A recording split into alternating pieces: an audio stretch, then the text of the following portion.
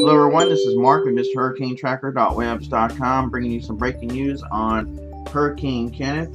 Hurricane Kenneth right now is a major hurricane at a category 4.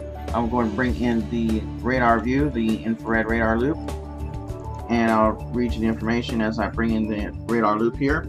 Hurricane Kenneth, this is advisory number 12, maximum sustained winds at 125 knots or 145 miles per hour. The Minimum central pressure is 943 millibars. Location at 12.7 degrees north, 113.9 degrees west.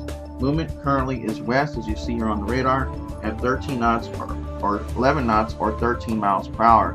So once again, guys, this is a major Category 4 hurricane. This is a rare event, and it's occurring.